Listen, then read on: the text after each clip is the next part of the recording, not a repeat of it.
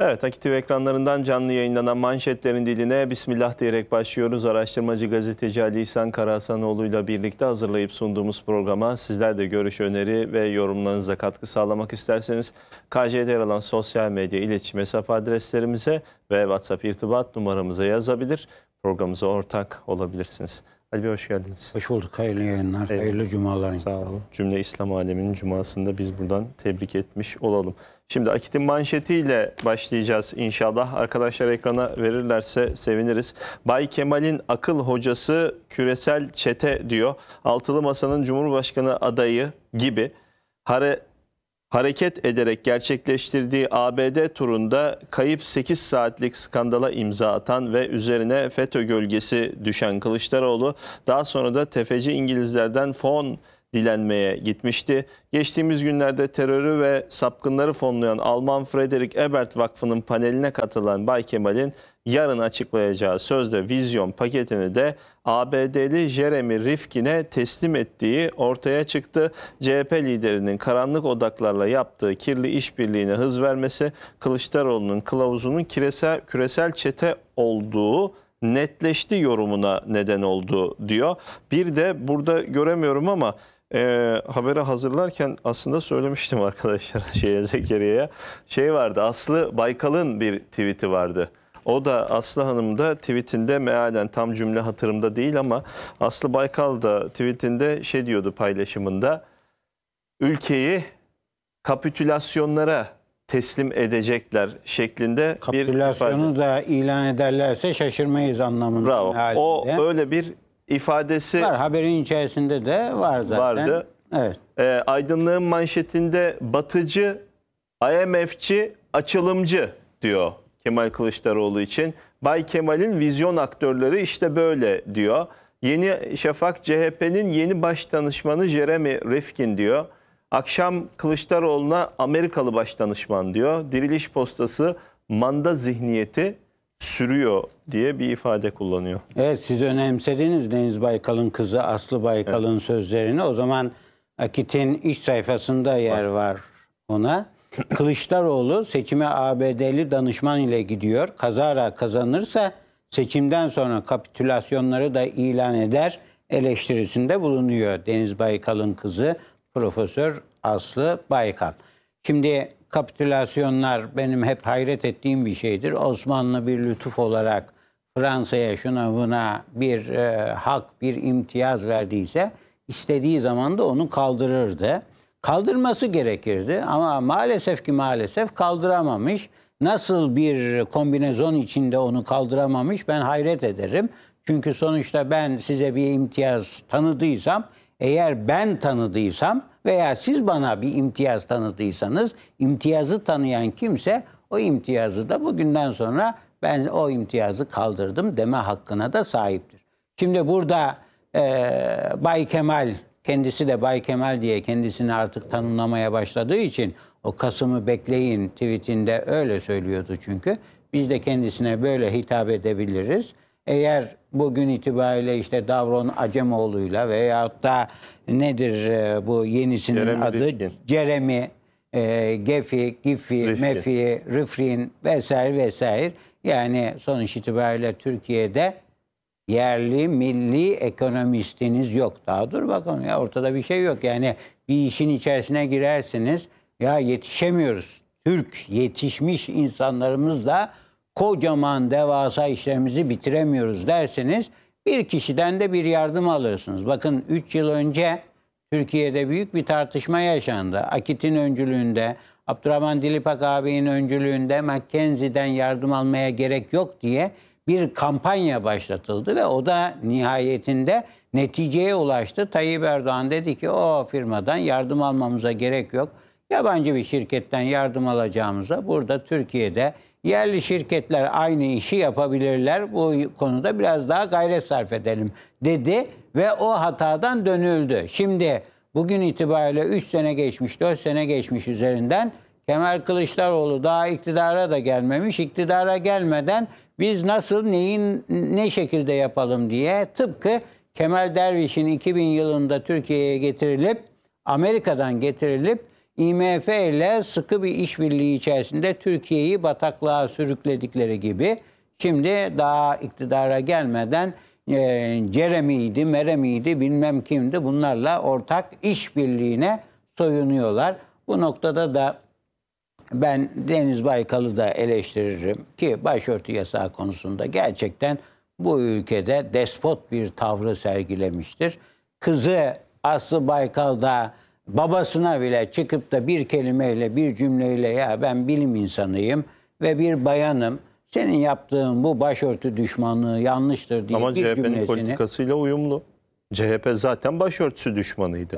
Yani düşmanı ama sonuçta nihayetinde geldiğiniz zaman Nur Serter bile diyordu ki ya bizim annemiz, e, babaannemiz falan anneannelerimiz hepsi başörtülüdür diyordu. Orada da bir çelişki var. Yani tamam CHP e, dini kavramlara biraz mesafelidir ama böyle oturup da karşı karşıya sohbet etmeye başladığınız zaman yok yok biz din karşıtı değiliz.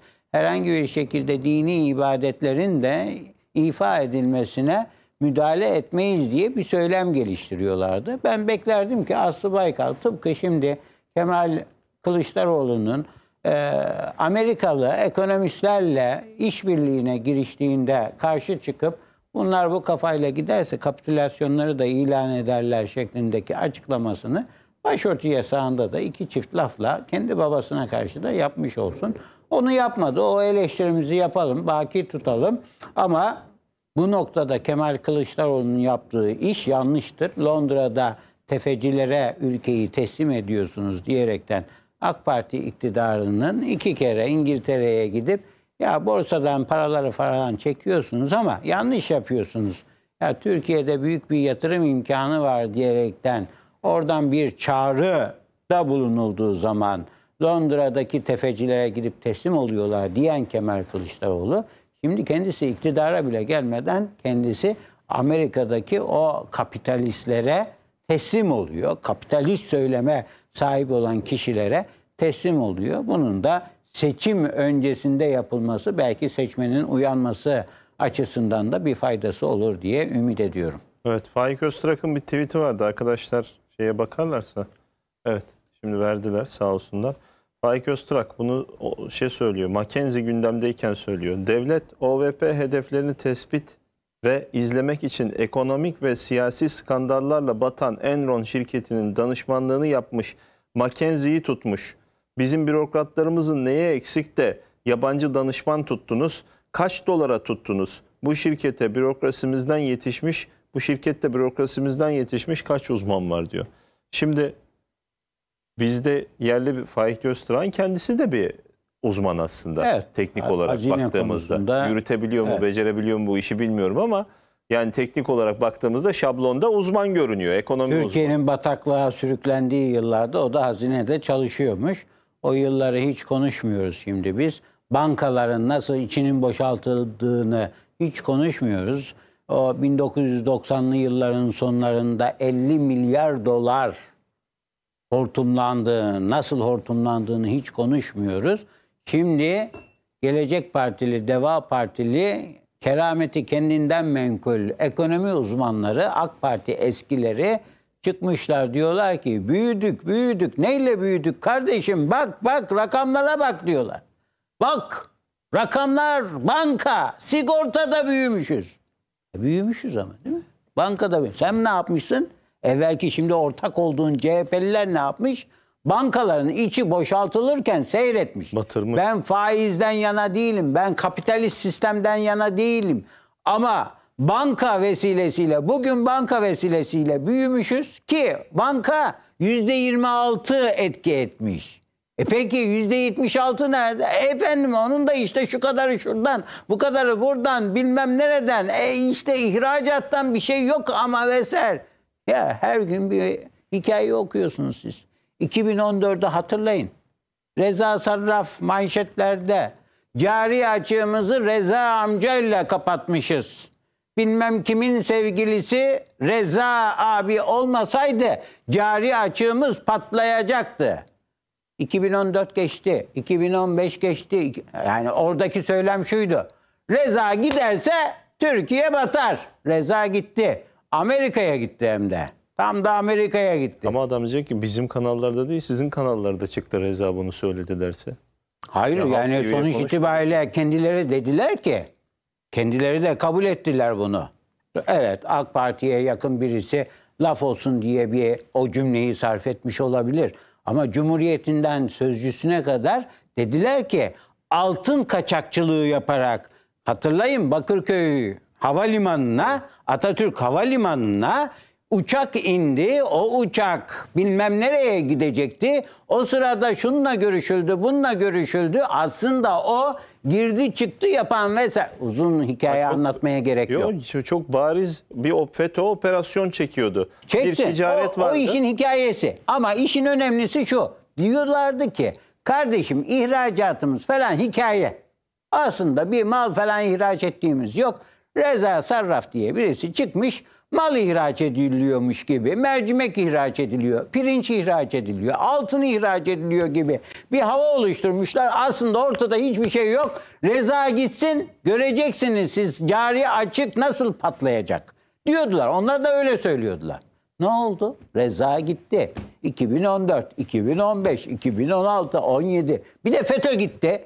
FETÖ'nün o bir sürü operasyonları şunlar bunlar devlette doktorlarından başla YÖK'üne kadar nerelere sızmışlardı. Hepsi tasfiye edildi. Geldik 2022 yılına şöyle patlayacak böyle patlayacak. Evet şu an patladı. Neyle patladı ama? Rusya-Ukrayna savaşıyla enerji fiyatlarındaki iki misli, üç misli artışlarla 40 milyar dolardan 90 milyar dolara enerji ithalatımız arttığı için yani bir birim alıyorsunuz. Geçen sene diyelim 40 milyar dolar, şimdi 90 milyar dolar. Aynı şeyi alıyorsunuz, aynı miktarda alıyorsunuz. Şimdi fiyatı 90 milyar dolar.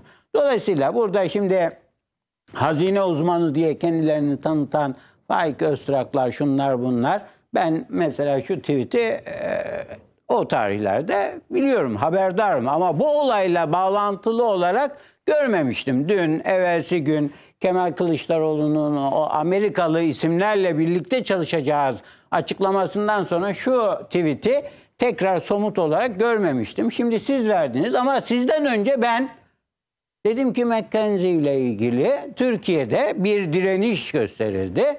Ve o direniş sonrasında da Tayyip Erdoğan dedi ki ya gerek yok böyle bir tartışmaya bile gerek yok. Biz kendi uzmanlarımızla bu işleri, bu raporları alırız dedi ve o firmayla yapılan anlaşmayı çöpe attı. Tıpkı İstanbul Sözleşmesi'ni çöpe attığı gibi. Yanlıştan dönmüş oldu. E şimdi geldiğimiz noktada Kemal Kılıçdaroğlu yabancı bir isimle oturup konuşup biz ekonomiye yol haritamızı bu kişilerle birlikte belirleyeceğiz dediği anda tam da kesmeyin arkadaşlar o o tweet'i koyun oraya. Bir okuyayım ben de bir okuyayım. Devlet OVP hedeflerini tespit et, tespit ve izlemek için ekonomik ve siyasi skandallarla batan Enron şirketinin danışmanlığını yapmış McKenzie'yi tutmuş. Bizim önemli olan bura, yerde burası zaten. Bizim bürokratlarımızın neyi eksik de yabancı danışman tuttunuz. Şimdi aynısını Kemal Kılıçdaroğlu'na soralım. Buradan bir virgül koyalım. Başkan Erdoğan e, İletişim Başkanlığı tarafından düzenlenen ikinci Uluslararası Stratejik İletişim Zirvesi'ne bir video mesaj göndermiş. Hemen onu dinleyelim sonra devam edeceğiz. Evet geri geldik kaldığımız yerden devam edelim. Evet, Amerika'daki bir e, yabancı kişiye CHP danışmanlık teklif ediyor ve o da kabul ediliyor. Şimdi buna bir de bir başka açıdan da bakalım. Suriyeli göçmenler Türkiye'nin içerisinde ya köşede, şurada kenarda köşede bir yerde bir nefes almamıza imkan verilecek şekilde, hayatımızı sürdürecek şekilde bize imkan verirseniz size minnettar oluruz diyorlar. Kendi halinde insan, yaşayan insanlar geliyorlar, göçmenler Türk topraklarında yaşarken CHP ne diyor? Bunları atacağız. Bunları sınırı ötesine yollayacağız. İktidarımızın ilk işi bu olacak. Peki şimdi ne yapıyorlar? Bakın o Suriyeli göçmenlerin Türkiye'nin yol haritasında, siyasi değişikliklerinde, iktidar değişikliğinde falan herhangi bir hakları yok. Gidip oy kullanamıyorlar. Belediye seçiminde kullanamıyor, milletvekili seçiminde, cumhurbaşkanı seçiminde kullanamıyor. Ama şimdi aynı CHP o göçmenleri dışarıya atacak. Bunlar yabancı, biz bunları istemiyoruz diyen CHP şimdi gidiyor hem de karar alma mekanizmasına koymak üzere yabancı birisiyle oturup konuşuyor. Sen bana danışmanlık yap diyor. Ya iyi güzel de sen Suriyelilerin Türkiye'de yaşamasına bile izin vermeyen Bir şey. yabancının Bir yabancıyı ben kabul etmiyorum diyorsun. Şimdi Amerikalı olunca niye sen onun bir de hazırlayacağı ekonomi yol haritalarını kabullenmeye kalkışıyorsun? Dolayısıyla buradan nereden bakarsanız bakın kendi söylemlerine, kendi o evvelden dillendirdikleri emperyalizme karşıyız, bilmem işte sömürge ülkesi olmayacağız, tam bağımsız Türkiye diyen Mustafa Kemal'in askerleriyiz. Onu hemen soralım. Mesela Evet. tam bağımsızız diyen, emperyalizme karşıyız diyen gazetede ya? Amerikalı Amerikalı birinin gelip destek verdikleri partinin ekonomi politikasını, daha doğrusu partinin ekonomi politikasını değil, sözde yönetecekleri, Türkiye'yi yöneteceğiz diyorlar. Türkiye'nin ekonomi politikasını bir Amerikalıya teslim edeceğiz haberi Bir Yok. günde yok. Yok. Sosyalist geçinen, komünist geçinen sözcüde var mı? Bir Şöyle bakın bir bakalım. bakıyoruz. Tam Suriye Ulusalcı. dediniz. Birazdan konuşuruz. Suriye'deki harekata bakın. Dün alttan diyordu ki hemen girin kardeşim diyordu. Bugün diyor ki üstten giremeyiz. Onu ayrı konuşuruz. Şöyle bir bakın. Ne var? İyi Parti CHP uzlaşı fotoğrafı vermeli. Tutuşmuşlar. Arada bir sorun var. Tutuşmuşlar. Reisten gizli gizli sigara içiyorsunuz. Tutuşmuşlar. Bir şey var, sorun var. Milli içkimiz ayrana bir yılda yüzde yüz 22 zam. Ama dönüp bakın bir tane Mackenzie, şey Mackenzie diyorum. Ee, Jeremy Rifkin. Jeremy Rifkin aynı Artık neyse işte hepsi aynı. bize de. Jeremy Rifkin ve Daron Acemoğlu. Nerede? Kararda yok. Milli, milli, milli. Tabii, milli Milliye en sona bakalım. saklamak Milli. lazım Ali Bey. Cumhuriyette var mı? Umarım vardır. Yerli milli gazete, milli değil de yurttaş gazetesi yok. Milli gazete şöyle bir dönün bakın. Mackenzie konusunda bizimle birlikte isyanları oynadılar. Doğruydu, haklıydı. E şimdi hadi bakalım bekliyoruz. CHP'nin Amerikalı danışmanları için Yok. de bir çift laf etsinler. Onlarda yok. diyelim Bir ki- şeyde daha yok. Şey nerede? Ali Babacan nerede? Evet. Üst düzey ekonomi dehası, onun var olduğu dönemde doları aşağı indirdiğini söyleyen adam. Ya o masanın güya ekonomi, ekonomiden sorumlu bilmem nesi olacaktı. Artık başkanlık sisteminde ne yapacaklar? Jeremy ile iyi anlaşırız. Ya Jeremy, Jeremy var. e, kankamdır benim diyor herhalde. Onun için herhangi bir açıklama yapmıyor.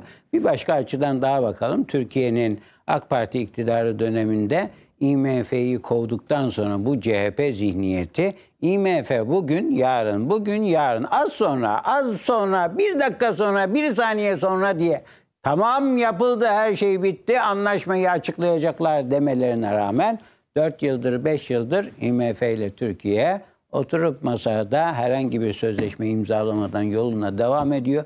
Dik duruşunu gösteriyor ama CHP daha iktidara bile gelmeden hemen Amerikalılara teslimiyet bayrağını çekiyor.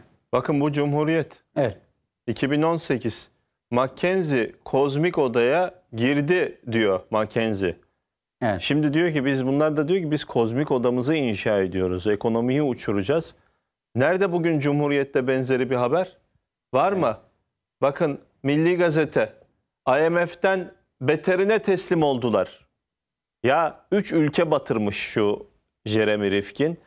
Bir, üç, bir ülke ekonomisinden daha fazla gelir elde eden de bir firmayı batırmış Jeremy Rifkin.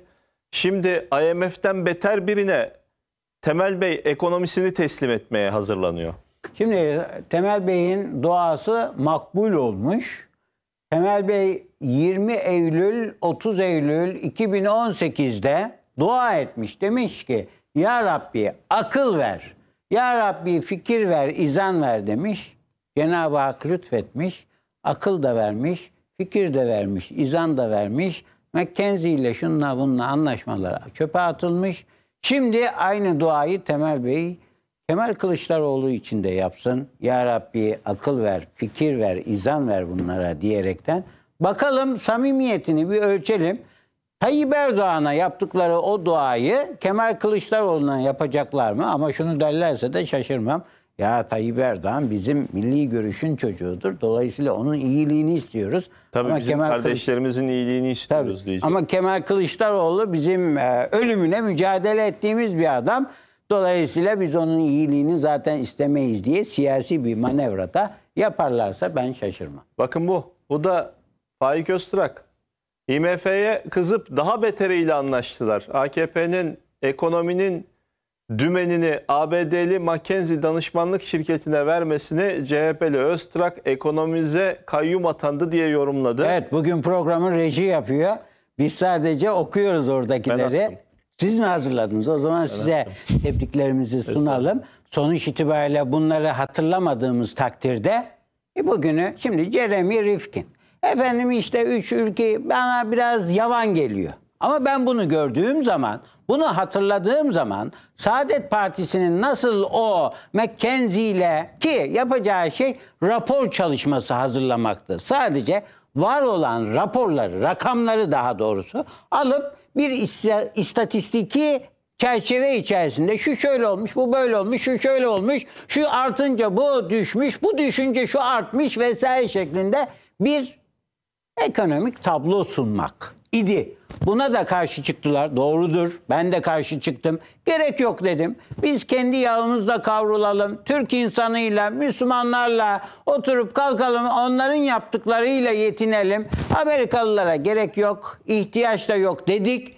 Tamam ama iyi güzel de şimdi ona bunları söylediğimiz zaman şimdi gelip de siz kendiniz Amerikalı danışmanlar tutmaya kalkarsanız e, orada da ben beklerim ki Faik Öztürk çıksın. Desin ki ya ben 2018'de McKenzie için söylediklerimi şimdi bu Cem'i Jeremy Rifkin Jeremy Rifkin'le ilgili de aynı şeyleri söyleyebiliyorum demesi lazım ki tutarlı olsunlar. Evet bir reklama gidelim. Bu hamur daha çok su kaldırır diyelim. Arkadaşlar da diyor ki abi hiç mütevazi değilsin diyor. Biz teşekkürü alacaktık sen aldın bizim yerimize diyor.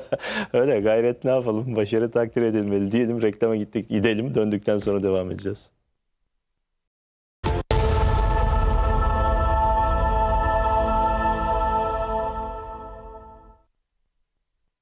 Evet geri geldik. Kaldığımız yerden devam ediyoruz. Hangi yerden devam ediyoruz? Reklamdan önce ola ki Kanal Televizyonu'nu yeni açmış izleyicilerimiz için hatırlatalım. Ee, Cumhur İttifakı'nın karşısında Millet İttifakı'nın en tepedeki ismi olduğunu söyleyen ya da aday tanımlayamıyorum da Kemal Kılıçdaroğlu'nun pozisyonu. Şu aday mı değil mi? e, Millet İttifakı'nın Millet İttifakı'nın en büyük bileşeni. en büyük bileşeni Kemal Kılıçdaroğlu'nun ve ekibinin bir Amerikalı, şimdi onu da söyleriz daha ileride, 3 ülke ekonomisini batırdığı söylenen bir şirketi, küresel bir şirketi yani öyle az uz değil 100 milyar dolardan fazla yıllık ciro açıklayan küresel bir şirketi batırdığı söylenen bir Amerikalıyı e, neydi arkadaşlar söyleyin Jeremy, Jeremy Rifkin'i- Rifkin. Ben Evet. buraya yazdım. Jeremy yani Rifkin'i- ifade edemiyoruz. İsmini bile ifade edemeyecek kadar yabancı bir adamı Türk ekonomisinde danışmanlık görevini getirecek. getirmiş. Getireceği Evet. söyleniyor. Daha doğrusu söylenmiyor artık böyle açıktan da dillendiriliyor. Şimdi bir e, şeyini de gösterdi, gösterip öyle söyleyeceğim.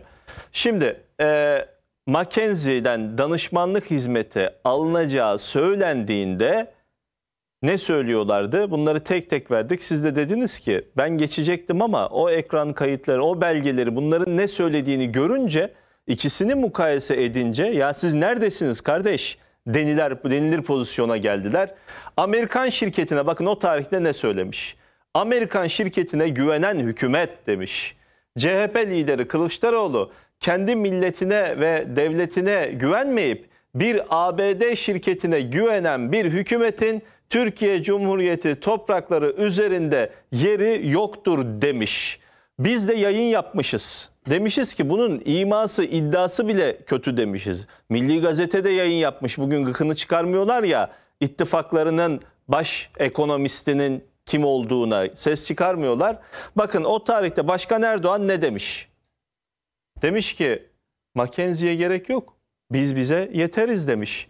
27. istişare ve değerlendirme toplantısında konuşan Cumhurbaşkanı Erdoğan ABD'li danışmanlık şirketi McKinsey konusunda bütün bakan arkadaşlarıma bunlardan fikri danışmanlık hizmeti de almayacağız dedim. Hiç gerek yok biz bize yeteriz demiş noktayı koymuş Başkan Erdoğan. Peki bir tane daha verelim biz dedik ki bugün bunlar görmüyorlar dedik. Dün Cumhuriyet bu kadar görmüş. Bakın her gün gazeteleri satır satır okuyorum ama atlamışım.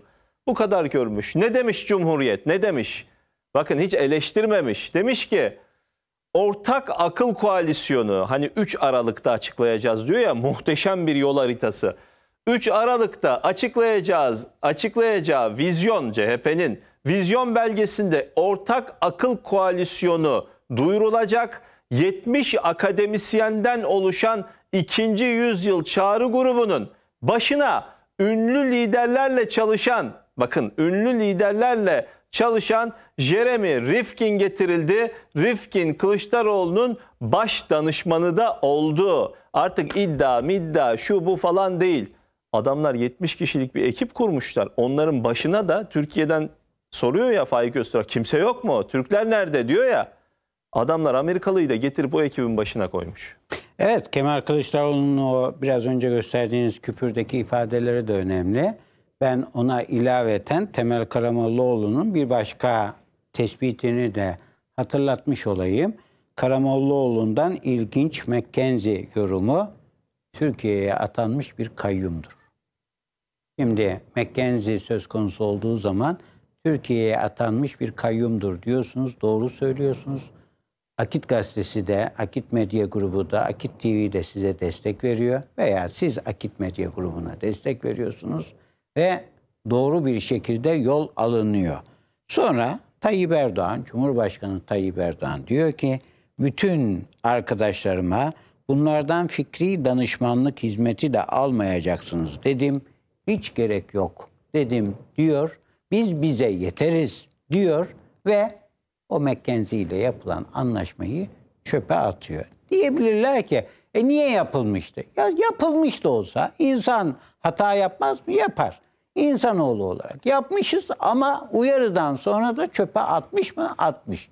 Şimdi uyarıyoruz Kemal Kılıçdaroğlu'nu. Bak Temel Bey ne diyor?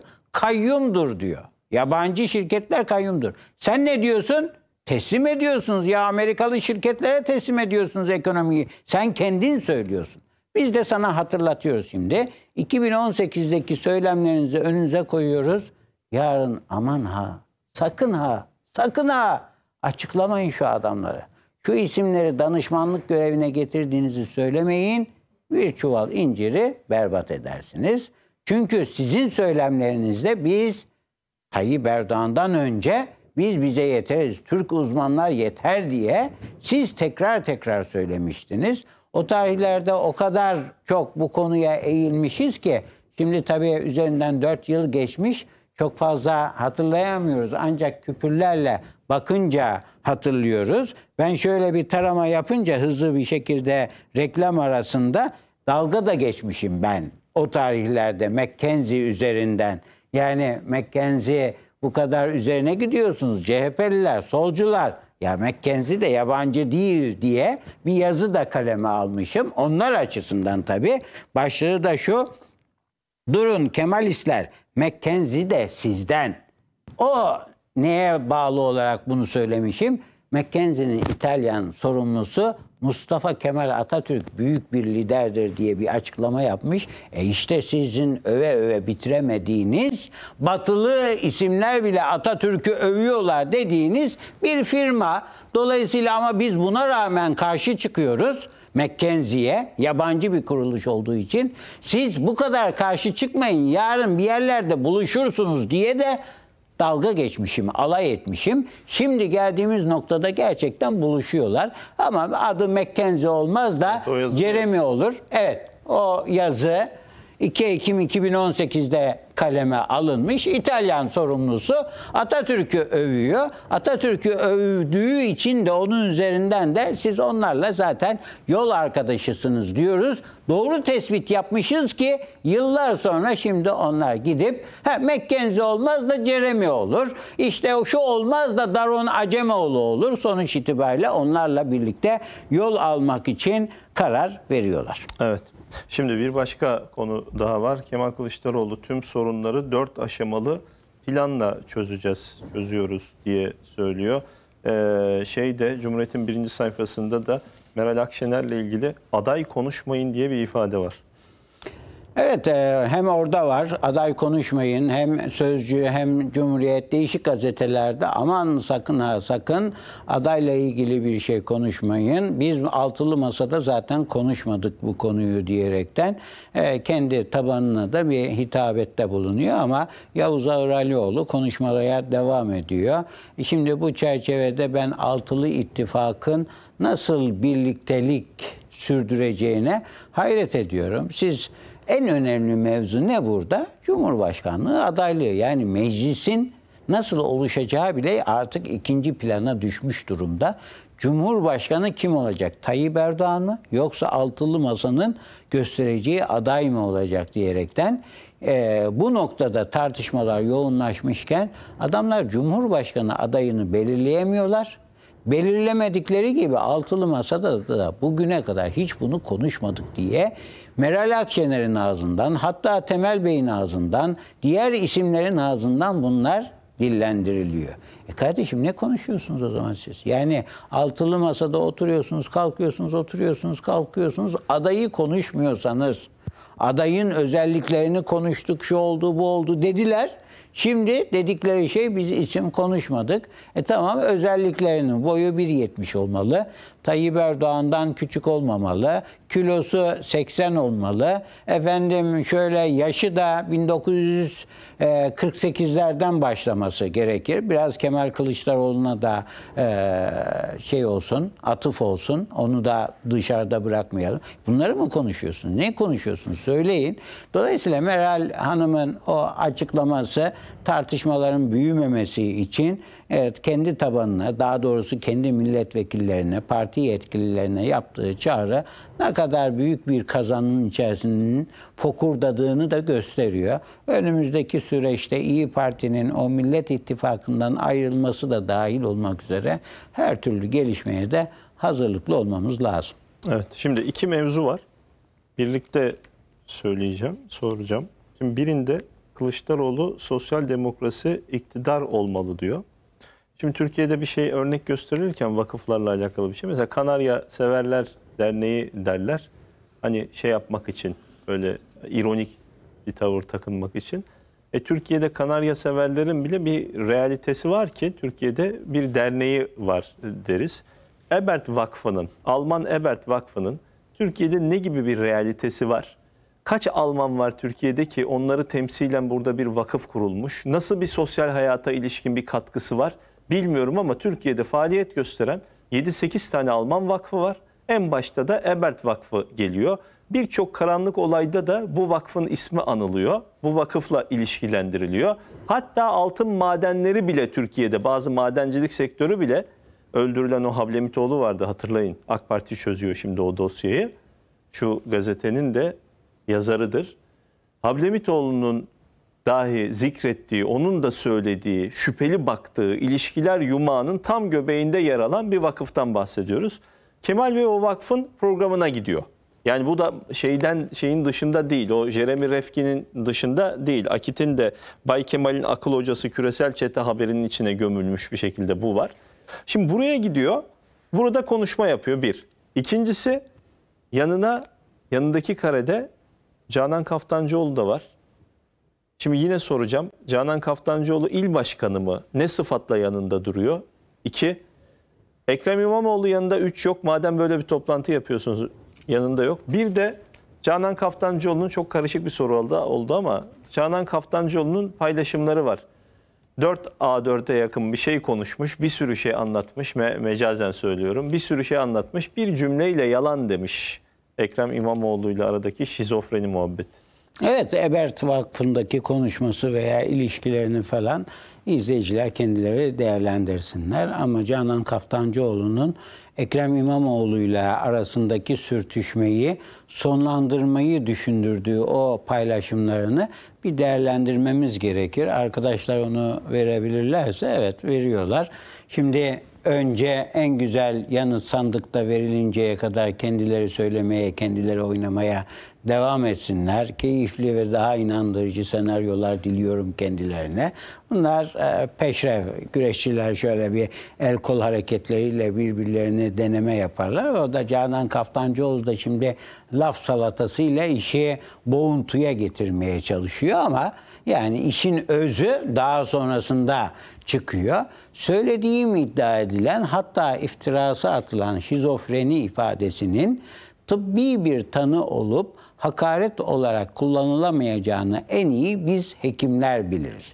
Şimdi burada çok güzel Canan Kaftancıoğlu tıbbi bilgilerini de kullanıyor. Şimdi ben gerçekten samimi olarak söylüyorum. Benim başıma böyle bir şey gelmiş olsa cümlem şu olur. Söylediğim iddia edilen hatta iftirası atılan şizofreni ifadesini ben asla Ekrem İmamoğlu için kullanmadım. Kullandım diye iddia edenler, iftira edenler alçaktır, ahlaksızdır, namussuzdur. Cümle bu. Şimdi ne diyor Canan Kaftancıoğlu? Ustaca. Yani diyor ki şizofren hakaret ifadesi değildir diyor. Şizofren adama şizofren denir kardeşim diyor. Tıbbi bir şeydir bu. Bu ayıp bir şey de değil diyor. Yani Ekrem İmamoğlu şizofren kardeşim diyor. Ayıp bir şey değil diyor bu. Ben doktorum diyor. Ben tıbbi olarak teşhisimi yaptım diyor. Bu adam şizofren. Şizofren adama şizofren demek hakaret değil ki siz böyle bir iddiada bulunuyorsunuz demeye getiriyor. Ama şimdi reji soruyor diyor ki adam hastaysa diyor niye belediye başkanı yaptılar? O zaman anlayamamış. Ha, tıbbi, anlayamamış. tıbbi olarak o tarihte teşhisini koyamamış. O tarihte İstanbullu seçmenler gibi Canan Kaftancıoğlu da aldanmış. Ama şimdi artık uzun bir süre de gerekir tabii şizofren e, teşhisini koyabilmek için. Dolayısıyla o uzun süre yani 3 yıllık, 3,5 yıllık sürenin sonunda Canan Kaftancıoğlu da bu tespiti, bu teşhisi koymuş olmalı ki bu tıbbi bir tanıdır diyor. Hakaret değildir bu diyor. Bir kişiye şeker hastası dediğiniz zaman hakaret mi olur diyor. Bakarsınız, ölçersiniz. Sonuçta dersiniz ki bu kişi şeker hastası. Ha, birileri bunu hakaret için şöyle kullanabilirler. Ee, Cübbeli Ahmet Hoca mesela ne diyordu? Ee, böyle e, problemli ifadeler kullandığı zaman sonra onu savunamayacağını anladığı an ya şekerim çıkmış onun için de ne dediğimi bilmiyormuşum o saatlerde o dakikalarda diyordu. Veyahut da bir sohbet sırasında şimdi şekerim çıkıyor bundan sonra söyleyeceklerimi dikkate almayın vesaire diye biraz ironi de yaparak konuşuyordu. Şimdi şizofren ifadesi tıbbi bir tanı olup hakaret olarak kullanılamayacağını en iyi biz hekimler biliriz. İfadeyi hakaret amaçlı kullanmak bu tanıyı almış hastalarımıza en büyük hakaret olur çünkü diyor. Ya orada da bir orada da bir örtülü bir hakaret E, yok tabii, mu? Yani tabii, siz tabii, şimdi hani bazen derler ya işte falancasına filanca diyorsun ama o filancasına bile hakaret yani bu söylediğin. E tabi yani sonuçta şizofren diye Allah kimseye hastalık vermesin tabi. Ama buradaki Canan Hanım'ın ifadelerinden tıpkı Ekrem İmamoğlu'nun Canan Kaftancıoğlu için o diplomatik dille ya çok nazik bir hanımefendidir öyle bir şey söylemiş olabileceğini düşünemiyorum şeklindeki açıklamasının karşılığı. Ya 5 gündür, 6 gündür, 7 gündür Türkiye çalkalanıyor. Ekrem İmamoğlu'na şizofren dendi mi, denmedi mi? Ekrem İmamoğlu gidip Canan Kaftancıoğlu'nun odasını bastı mı, basmadı mı diye. Şimdi çıkmışlar diplomatik dillerle kendi aralarındaki kavganın üzerini örtmeye çalışıyorlar. Ne soruyoruz ya? Sen birisiyle konuşurken Ekrem İmamoğlu için şizofren dedin mi, demedin. Demedim de bitir. Teşhisli, tıbbiydi, bilmem hastalıktı, hakaretti, değildi. Bırak onu biz değerlendiririz. Sen ne dediğini veya demediğini söyle. Veyahut devam et. Ekrem İmamoğlu'nun da veri- cevap vermediği bir konu vardı. Canan Kaftancıoğlu'nun odasını bastın mı basmadın mı? Şimdi Canan Kaftancıoğlu'na soralım. Senin odan basıldı mı Ekrem İmamoğlu tarafından basılmadı mı? Bunları söyle. Ondan sonra tıbbi midir değil midir, hakaret midir değil midir onu izleyiciler, mahkemeler, hakimler veya kamuoyu takdir eder. Bu noktada da e, CHP içerisinde Muharrem İnce vakasının e, bir devamı yaşanıyor. Muharrem İnce gerçi seçimi kazanamamıştı ama e, hemen sonrasında CHP yönetimine savaş açmıştı. Şimdi Ekrem İmamoğlu kazandığı seçimden sonra CHP yönetimiyle yolları ayırmanın e, eşiğine gelmiş durumda. Dolayısıyla o açıdan da olayı değerlendirmemiz lazım. Şimdi bir sürü paylaşım yapmış. Biz birkaç tanesine en kritik olanını verdik aslında. Şimdi arkadaşlar o diğerlerini vermediler. Çok da lüzumu yok. Şeyi söyleyelim. Ee, başka bir yere değineceğim. Bu kadar paylaşımın içerisinde geri gelin arkadaşlar. Bu kadar paylaşımın içerisinde Allah rahmet eylesin Mustafa Bey'in güzel bir sözü vardı. Bir gün e, diğer binadayken, eski binadayken aşağı çağırdı beni. Dedi ki Oktay Ekşi o zaman Hürriyet'in başında basın e, Konsey. illegal basın konseyinin de işte tepesindeki isim. Bir e, absürtlüğünü e, yakalamış Mustafa Bey. Dedi ki şunu dedi bir sor bakalım Oktay Ekşi'ye ne diyor bu iddiayla alakalı dedi. Sormak için yukarı çıktım. Sonra dedi ki ha Murat bir baksana dedi. Baktım. Bak dedi buna soru sorarken çok dikkatli ol dedi. Bu adam dört sayfa konuşur dedi. O dört sayfanın içerisinde senin sorun bir sözcükle cümle bile değil bir sözcükle ya geçer ya geçmez dedi. O yüzden öyle ona uygun bir soru sor dedi. Allah rahmet eylesin. Allah rahmet Hakikaten soruyu sorduk. Dedi ki faksla göndereceğim size dedi. Ya 5 A4 faks geldi. Bizim soru bir sözcük. Bir, bir sözcük cümle bile değil bir sözcük. Şimdi bakıyorum o yüzden az önce dedim 4 A4 konuşmuş mecazen söylüyorum. Bir sürü tweet atmış mevzuyla alakalı. İddia şurada. Dolayısıyla yalan. Az önce dediniz ya bunlara hesap soracağım. Manşet atmışlar defalarca. Bu yalan, iftira, nerede yaşanmış, böyle çirkin bir üslup, iğrenç bir şey, bir sürü şey söyleyebilecekken 4 A4 konuşmuş bir sözcük, bir sözcük dolayısıyla yalan. İmamoğlu'nun yalanlaması gibi. Bu yalanlamaya bakınca da olayın aslında ha gerçekten yaşanmış bu olay. İki tarafta doğruluyor. Yani çıksınlar şimdi beraber bir açılışa gitsinler, bir toplantıya gitsinler. Kemal Kılıçdaroğlu İstanbul'a geldiği zaman birlikte bir gülücük versinler de bir görelim. Yani seçimleri kazandıkları tarihte İstanbul Büyükşehir Belediye Başkanlığı'nda bol bol gülücükler dağıtıyorlardı. Ama burada yani iki kişinin birbiriyle kavga etmesi, tartışması bizi sevindirecek bir husus değil. Önemli olan şey şu. Ya Halk ekmek fabrikası açtık deyip yalan söyleyen bir adamdan bahsediyoruz. Fabrika açtık diyor. Genel başkanını çağırıyor. Ekmek üretilirken gibi bir görüntü veriyorlar. Bir ay sonra, bir buçuk ay sonra ortaya çıkıyor ki o fabrikanın dörtte üçü çalışmıyor.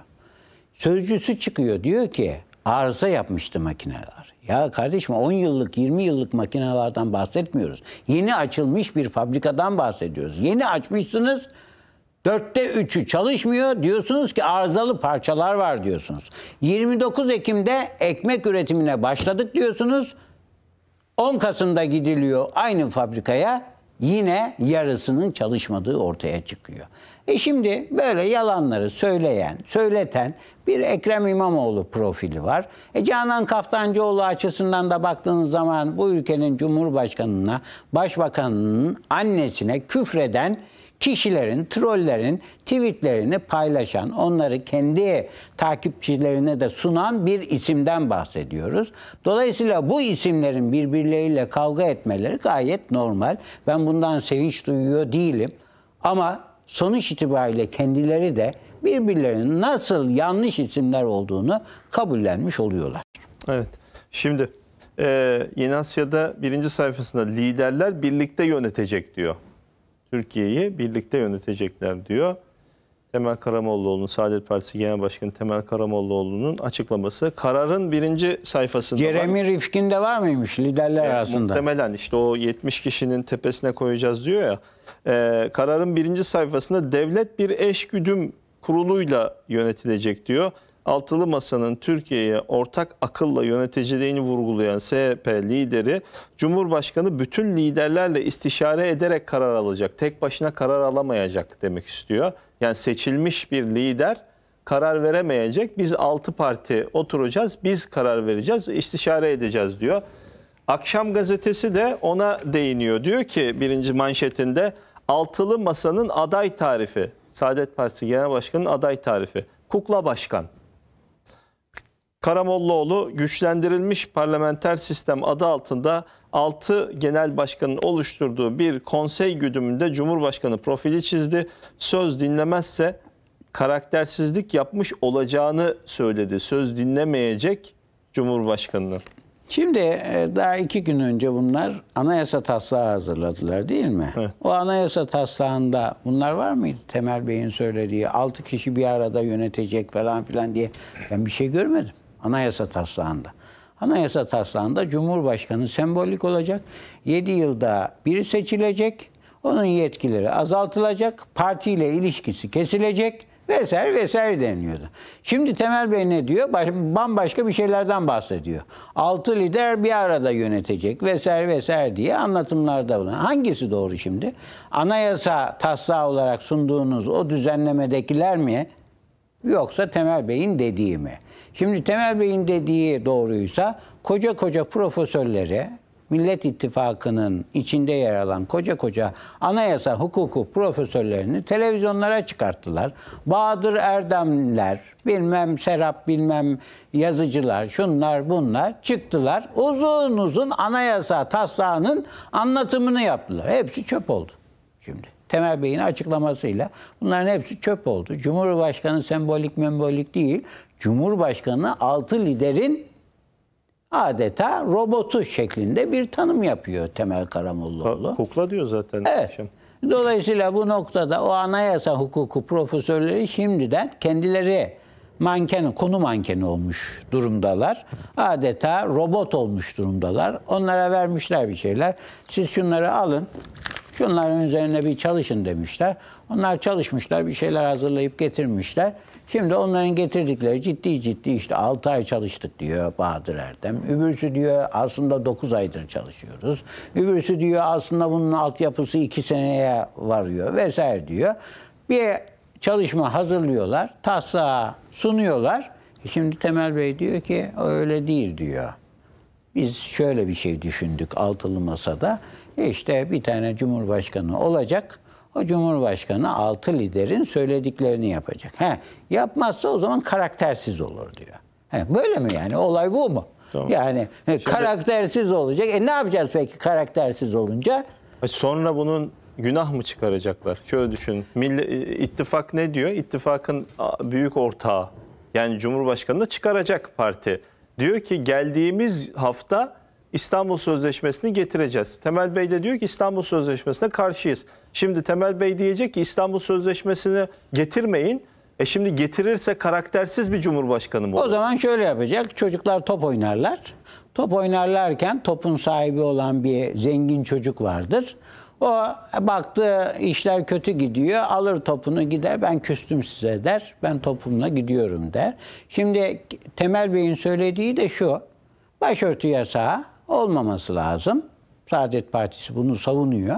E şimdi gelen iktidar gerçekten kazanacak olursa Cumhurbaşkanı yeni bunların seçtirdiği Cumhurbaşkanı başörtü yasağını tekrar üniversitelere getirmeye kalkışacak olursa Temel Bey şöyle yapacak. Verin benim topumu ben gidiyorum. Sen karaktersiz bir adamsın. Böyle bir şey yapmaman lazımdı. Söz vermiştim. Başörtü yasağı uygulanmayacaktı. Ama sen uygulamaya başladın. Sen karaktersizlik yaptın. Ben gidiyorum. E peki ne oldu? Ülkenin 5 yılı gitti.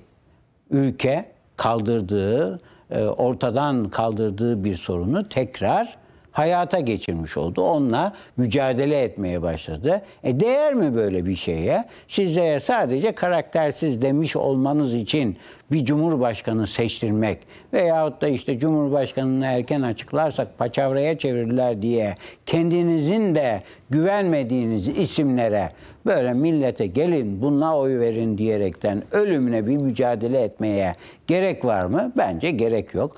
Temel Bey çıksın desin ki ya ben kimseye kefil olmam desin. Ha, o dakikadan sonra biz de diyelim ki ya milli görüş çizgisi bir kumar oynuyor. Bakalım tutturabilecekler mi, tutturamayacaklar mı? Ama kefilim diyor. Bir yandan kefilim diyor, bir yandan da işte bu açıklamaları yapıp diyor ki eğer sözünü tutmazsa karaktersiz olur. E karaktersiz olmak yani o kadar karaktersiz adamlar için zaten çok önemli bir şey değil. Adam der ki karaktersizim evet.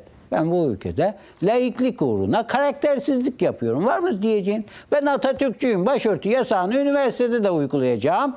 Devlet memurları için de uygulayacağım. Sen istediğin kadar karaktersizdi. Yani biz Kemal Gürüz'e, Kemal Alemdaroğlu'na vesaire vesaire vesaire karaktersiz değil neler neler dedik. Adamlar tınladılar mı? Tınlamadılar. Ne zaman ki Tayyip Erdoğan iktidara geldi, iktidara geldiğinin de yılında değil, ikinci yılında değil, beşinci yılında değil, onuncu yılında ancak çıktı. Dedi ki yeter ya dedi yeter bu ülkenin çocuklarına üniversiteyi siz yasak ilan edemezsiniz dedi. E, o noktada yani karaktersizlik falan filan o adamlar için o cibilliyetteki insanlar için bir önemi yok. Temel Bey'in de gösterdiği o bir anlamda meide ol gibi gösterdiği ifadenin de bir anlamı yok. Evet, Cumhuriyet'te az önce dediniz ki o anayasa çöp oldu dediniz eğer bu iddia... Taslak öyle oldu yani bu son söylenenlere göre çöp. Şeyde de Cumhuriyet'in birinci sayfasında da bir e, haber var buna ilişkin. O da bir itiraz daha var. Parti kapatma maddesi diyor. Altılı masaya ilk itiraz. Altılı masanın müzakere edilip seçim sonrasında meclise sunulacak diyerek açıkladığı anayasa değişikliği önerisinde yer alan maddeyi yorumlayan eski AYM raportörü Ali Rıza Aydın bu yargı ayağına ön müdahale dedi diye veriyor. Evet yargı açısından bakmış o isim anayasa eski raportörü. Çünkü biliyorsunuz meslek Hangi dayanışmaları vardı. Niye o madde yok? O madde anayasa taslağında şimdi işte meclise veriyorlar. Hayır ama yetkiyi. HDP ile ilgili maddeyi HDP ile ilgili, Parti tabii, tabii. kapatma maddesini kastediyor. Yani şöyle diyor, yeni taslakta, açıklanan taslakta şu deniliyor. TBMM'nin 5'te 3 çoğunluğuyla milletvekilleri karar verecek bir partinin kapatılma davası açılsın mı açılmaz mı? Şu an Yargıtay Başsavcısı kendi iradesiyle oturuyor, delillere bakıyor ve nihayetinde de diyor ki evet bu parti hakkında ben kapatma davası açabilirim diyor. İddianamesini hazırlıyor. Kimseden bir izin almaksızın Yargıtay Başsavcısı yapıyor şu an bu görevi. Ve Anayasa Mahkemesi'ne dilekçesini veriyor. O iddianame incelenmeye başlanıyor. Ama yeni taslakta CHP ve diğerlerinin hazırladıkları taslakta diyorlar ki Yargıtay Başsavcısını Cumhurbaşkanı seçtiği için o onun emriyle hareket ediyor. O onun emriyle hareket ettiği için yargıya müdahale oluyor. Dolayısıyla biz bunu Yargıtay Başsavcısından alalım. E ne yapalım? TBMM'nin 5'te 3'lük bir çoğunluğunun izniyle karar verilsin. Ondan sonra başsavcı dava açabilsin diyor. E o noktada da ben de diyorum ki HDP'ye verdiğiniz bir tavizdir bu. 5'te 3 çoğunluk genelde Türkiye Büyük Millet Meclisi'nde elde edilemez diye düşünüyorlar. Dolayısıyla HDP'ye de böyle bir hak vermiş oluruz. Eğer kapatılmamış olursa 2023 seçimlerine kadar büyük ihtimalle o takdirde de şu olacaktır. Böyle bir değişiklik de yapılacak olursa aa şu andan itibaren de olsa ceza hukukunda çünkü e, prensipler o izine vesaireye bağlama sonradan da yaşanmış olsa evvele de şamil olur. Dolayısıyla böyle bir tartışma çıkartarak HDP'yi kapanmaktan kurtarmak istiyor altılı ittifak. Bu şekilde de seçimlerde HDP'nin desteğini kendilerinde gösterecekleri Cumhurbaşkanı adayına HDP'nin destek vermesini arzuluyorlar. Bu noktada Anayasa Hukuk, Anayasa Mahkemesi eski raportörü itirazını söylüyor. İtirazı tabii mesleki dayanışma. Ya biz yargıyız, yargıyı temsil ediyoruz. Bizim vereceğimiz bir kararın öncesinde bir izin alma makamı olmaması lazım Tamam. diyor. Şimdi o onu söylüyor. Cumhuriyet'te ben asıl şeyi merak ediyorum. Cumhuriyet'te şimdi bir haber hazırlarken 5M1K diye bir kural var. Şimdi haber hazır, haberin içerisinde altılı masanın müzakere edilip seçim sonrasında meclise sunulacak diyerek açıkladığı anayasa değişikliği önerisinde yer alan maddeyi yorumlayan. Hangi maddeyi ya? Evet. HDP'yi küstürmemek için, ürkütmemek için ama iddiayı da atlamamak için seküler kesimin şeyinde atlamamak için HDP kapatma davası diyemiyor ya. Parti kapatmalarına ilişkin o ifadeyi kullanamıyor. o Gerek madde. ulusalcıları küstürmemek için ve e, PKK'ya mesafeli CHP tabanının bir kısmı tabii bu. Onları küstürmemek için o ifadeleri net olarak izah etmedin ama bir yandan da kılçıklığını yapmış oluyor veyahut da itirazını diyelim, kılçıklık demeyelim, itirazını da yapmış oluyor. Aslında o maddenin getirilme amacı kime matuf? Refah Partisi kapatıldı. Fazilet Partisi kapatıldı. Kimse onu zaten tartışmaya bile açmıyor. Ama HDP sürekli o çizgideki isimler sürekli PKK'ya yandaşlık yapıyor. Ee, işte eski yıllarda kapatılıyordu ama ahim o kapatma kararlarını hak ihlali olarak görüyordu. Dolayısıyla uzun yıllardır AK Parti iktidarının da Anayasa Mahkemesi'nin vereceği kararlarda o nitelikli çoğunlukla parti kapatma kararı alınabilir şeklindeki değişiklikleri sonrasında artık HDP'ye de uzun yıllardır dava açılmıyordu. Bugün bir yıl kadar öncesinde açılan bir dava var. O henüz daha karara bağlanmış değil. Fakat onu zorlaştırma. Böylece de HDP yönetimini kendi yanlarına çekmek için altılı masa bir tezgah kurmuş durumda. Evet, şimdi tartışılan dünden bu yana bir mevzu var. Ee, Milli Gazete'nin manşetinde hem ağlarım hem reklam veririm diyor. BİM reklamlarını eleştiriyor. Kararın birinci sayfasına üç harflerden isyan bayrağı diye vermiş. Akşam birinci sayfasından MHP'den Aykaç'a ağır tepki diye haberleştirmiş. Dün bir mevzu vardı. Bir icra kurulu üyesi Ay, e, Aykaç'ın e, Bahçeli'nin sözlerini eleştirdiği şeklinde yorumlanan bir açıklaması e, vardı. İşte market zincirlerinin haksız fiyat artışı yaptığı yönünde iddialar vardı. Buna ilişkin bir Sosyal medyada da bazı çarpıtmalarla yürüyen bir konu.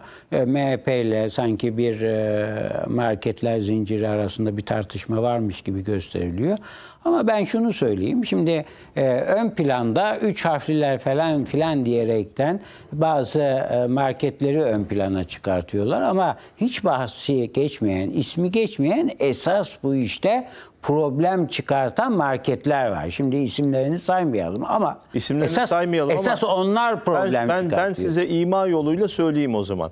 Marketlerinin içerisinde devasa alkol reyonu Evet, bulunan evet. çok uluslu Fransız, İsveç bilmem ne menşeli marketler var. Evet.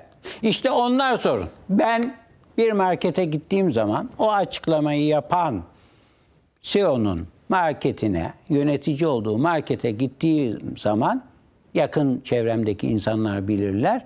Fiyatlara çok fazla bakmam. Güvenirim oraya. Orada bir gün peynir 80 lira, ertesi günü 100 lira, sonra tekrar ertesi günü 85 liraya indiğini görmedim ben. Ama o bahsettiğiniz alkollü içecek vesaire vesaire satan marketlerde bakın bir gün peynir 90 lira, ertesi günü 120 lira, ondan sonraki ertesi günü 95 lira. E kardeşim 120 liraya çıkan peynir 95 liraya şimdi niye indi? Ne oldu da indi? Enflasyon sürekli var demiyor muyuz? Sürekli her gün her gün mala zam geliyor demiyor muyuz? Diyoruz 80 liradan alıyorsun 120 liraya çıkartıyorsun 3 gün içinde Zam geldi kardeşim ben ne yapayım? Git hükümete söyle diyorsun. Sonra bir bakıyoruz tekrar 120 liralık peynir 85 liraya 90 liraya inmiş. Neymiş? Kampanya yapmışlar. Şimdi tekrar kampanya bitmişmiş gibi bir algıyla o oynamaları yapıyorlar. Dolayısıyla oynamaları yapanlar da benim gördüğüm ben şahsen o e, bahsettiğimiz bir iki market var. O marketlerin dışındaki marketlere ancak Gittiğim zaman mutlaka fiyatlara bakarak dönem dönem öbür marketlerden daha ucuza indirdikleri mallar oluyor. Ama onları takip etmeniz lazım. Takip ederseniz yakalayabilirsiniz. Yoksa gözünüz kapalı eğer gidip alışveriş yaparsanız iki malı ucuza ama 10 tane malı da kazık fiyatı alırsınız o alkollü içecek satanlarda. Dolayısıyla bu noktada belki gereksiz yere de MHP ile de bir sürtüşme yaşanıyor ama önümüzdeki süreçte daha aklı selimle hareket edilip ne nedir ne değildir bunların tartışılmasının e, sürdürülüp gerçeklerin de ortaya çıkacağı kanaatindeyim. Avrupa'da ve diğer ülkelerde bu marketler zincirinde kar oranının %20, %18'de %25 arasında seyrettiğini ama bu sektörde Türkiye'de %17 ile sınırlı kaldığı belirtiliyor o açıklamada. Şimdi orada da ben marketler zincirlerine şu teklifi yapıyorum. Ya tamam Avrupa'da yüzde 20-25 olabilir bu konudaki kar oranı ama Türkiye'nin şartlarını da dikkate aldığınız zaman yani kardan yüzde 17 yerine yüzde 15 yaparsınız geçici olarak. Yüzde 2 indirirsiniz, yüzde 3 indirirsiniz, yüzde 4 indirirsiniz. Bu da bizim Türkiye'nin ekonomisine bir katkımız olsun, dar gelirli insanlara bir katkımız olsun dersiniz. Bu da alkışlanacak bir hareket olur. Dolayısıyla ki bu kar oranı da diğer masraflar çıktıktan sonraki bir kar oranı. Bu noktada az bir kar oranı da değil yüzde on yedilik bir oran. Ama esas tartışmanın yürüdüğü efendim bunlar çakallık yapıyor vesaire şeklindeki noktada hiçbir şekilde eleştirilmeyecek olanlar ön plana özellikle bazı kesim tarafından çıkartılıyor. Evet, o işte çakallığı o- yapanlar bence o alkollü içecekleri de içinde barındıran o hiç şu an ismi mismi geçmeyen üç harfli olmayan diğer o çok uluslu bilmem çok e, küresel şirketlerin marketleri diye ben görüyorum. Tespitim de bu. Sadece o mu bir şey daha mı var? Şimdi e, bunu dillendiren zihniyete dönüp baktığımızda bilmiyorum reklama girer mi açık isim ver- veriyorum. E, mesela kendi bölgesinde BİM istemeyen, burada alışveriş yapmayan, aa bu Müslümanların yeri diyen, İslamcıların tırnak içerisinde yeri diyen bir zihniyet vardı. Şimdi bu ülkede aslında BİM ve benzeri market grubu, ucuzluk market grubu Tam da Başkan Erdoğan'ın iktidara geldiği dönemde kendisinin de belediye başkanı iken tanzim marketleri açarak belli bir aynı bir konsepti güdüyordu. Birbiriyle e, şey hareket ettiğini, eşgüdümlü hareket ettiği söyleniyordu. Şu CHP zihniyeti de tam olarak bu marketleri bu yüzden eleştiriyordu. Şimdi bakıyorsunuz mesela ben aynı açıklamada şeyi de gördüm. Ee, hükümetimizle aramızı açmasına kimsenin arasına açma hükümetimizle aramı, aramızın açılmasına kimsenin buna müdahale etmesine izin vermeyeceğiz diyor Galip Aykaç. Bu alınmıyor. Bakın bunu asla görmüyor ama yukarıdaki o sert ifadeler üzerinden görüyorsunuz birbirlerine Ki düştüler orada diye. da troller, sosyal medyadaki trolleri kastederek Galip Bey bir ifade kullanıyor. Ben tekrar şu tespitimi yapıyorum. Ben şu an ön plana çıkartılan marketlerin, marka marketlerin fiyat istikrarı konusunda çok daha başarılı olduklarını, dar gelirli insanların e, yanında olduklarını görüyorum. Esas şu an isminden hiç bahsedilmeyen, hiç tartışılmayan ve o muhalefet gazetelerine de sürekli reklam veren, Milli Gazete manşetine taşımış. Vay efendim işte e, ilanları yayınlanıyor vesaire diyor. E, Cumhuriyet'te yayınlanan Süreyi- ilanlara da bir baksınlar. Kimler oraya da- ilan veriyor? açtık da sade o değil. Evet. Milli Gazete'ye bir soru daha soralım. CHP'nin kuruluş yıl dönümü reklamını kim aldı? Evet. CHP'nin reklamını alan gazete bunu söylüyor. Evet. Anadolu Milli Gazete onu almıyor. onu, bir anlatsın, alıyor. izah etsin. Ondan sonra da diğerlerine sıra gelirse onun da cevabı verilir. Evet bizden bugünlük bu kadar diyelim. Bu haftalık bu kadar diyelim. Allah nasip ederse pazartesi görüşmek dileğiyle inşallah. Buluşmak ümidiyle inşallah.